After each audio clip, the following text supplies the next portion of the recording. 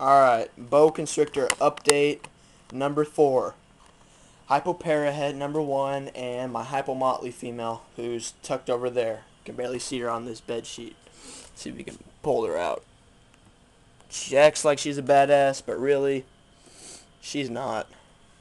Acts like it, but not really. Beautiful stripe. Came from Mike Weitzman, as did the Hypopara at number one and like I've been trying to say making these videos, um, she's going to be going to a Salmon Jungle Het Sharp. Other Hypoparas going to a Hypomotley Het Sharp. Hopefully hit on some Paradigm, Paraglow, Jungle Motleys, or some Sharp Sunglow Albino Jungles and Motleys. But yeah, and my Hypomotley 50% Striped Ghost. She is going to go to a Ghost Motley, which will be coming after the Hypo Jungle Motley Het Sharps and hopefully to produce some Ghost Mo Ghost Supers, Ghost Super Motleys, and Anery Super Motleys, Hypo Super Motleys. You never know with the Super Motley combinations. I mean, hearing some bad rumors coming around the Super Motley combos, but still, still want to make them, still want to do it, and still happy to try. Still love the Motley gene. Motley's my favorite gene. love the jungles, but Motley, I definitely like the Motleys more. And as you can see, she's got that fat stripe going from the middle of her body all the way down to the very tip of her tail. Is beautiful little snake, doing very well. Both are friendly. Both are starting to get some size in them. Almost at that year and a half mark when they start getting their growth spurts. And yeah, yeah, now you guys can see that. Look at that and it's already going over. Just beautiful bull snakes, going to be ready for the 11, 2011-2012 breeding season. And hopefully going to make me some cool babies. Uh, yeah, that's, I mean, with the boa morphs, that's going to be the second part of my business, along with the retic and ball python morphs. Going to do those two, but those are coming after I finish getting some of these other high-end boas. Right now, boas are my main concern and I don't want to say exactly, I put a number on this, but I'm trying to get to 32 high-end boas by my birthday in March, and I will put money on me doing that. And I'm not talking low-end boas. I'm talking very, very high-end boas because, I mean, breeders have told me numerously quality over quantity. And so far, I mean, for doing this for a little, like a little under a year and a half, I think I'm doing good on the quality part. I mean, a lot of people, even the professional breeders at a year and a half, didn't really have anything special. But I mean, those guys, I mean, back then, they were the people who made all the special stuff. But yeah, boa update 4. Look at him. Oh, who's a mean little snake? Are you going to get me?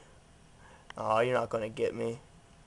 Just love the super motley head. Let's see if we can get, it, get that a little clearer in love with the Motley gene does. I mean, just color contrast stripes going through the body, nice pinks and reds and oranges and browns. Beautiful snake goes up the stripe to some octagons, coming back with another stripe, another few stripes. And then up from the tip of the head, that nice line coming from the head, just beautiful. Lover.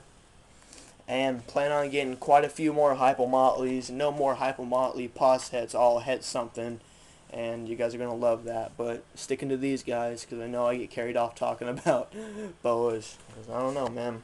Boas kept me off everything and make me love everything I'm doing now. But as you can see with Sandy, my first hypopara het, she doesn't have that nice caramely pastel color as the other hypopara het, which which leads me to believe that she most likely is het sharp. Other one is het caramel. And let's see if I mean you can see that right there. It's hard to see. We'll see if we can get a closer look in there. It's going to be hard to see that, but I mean, you can definitely see a different color, like a pastel looking color compared to her. But still love them both. All these snakes, the 12 I have right now, will never leave me. And that is a promise. One more thing I want to throw in there, guys. This doesn't have to deal with these guys, these two right here. But the Salmon Jungle het Albino, which I just got a few days ago, in which you guys just saw him eat. Beautiful little guy. I don't know why my camera's acting up and not come with better quality. But he is going to get a new lady, so we can get some snake stuff. Gotta edit that out. Sorry about that.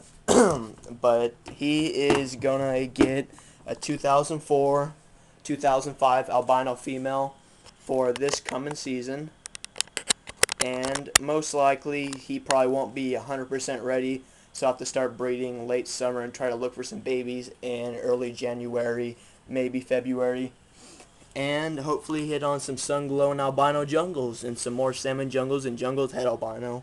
And then most likely if the jungle double het's ready, he'll I'll try to put him to her too. But I mean if he doesn't seem up to two females, then he'll just go to the one and Jane will have another year to mature. But yep, guys, this is gonna be it for boa update number four. Still got a few more boas to go. Jane was supposed to be in this one, but she is in shed right now. Let's take a little peek and see what she's doing. And I don't know what her deal is lately, but she has been getting a little bit more aggressive. Every time I spray water in there, she starts throwing her mouth open and striking. But alright guys, I will see you next time. Please rate, subscribe, and comment. And let me know if there's anything you guys want to see, anything with rodents, snakes. Uh, if you, I mean, if you are looking for anything in the future from breedings, or if you want frozen rodents to be sent to you because the racks are getting built and the rodents are going to be picked up and there will be plenty left from wholesaling to the retail pet stores. Alright, thanks guys. This is Taylor signing off.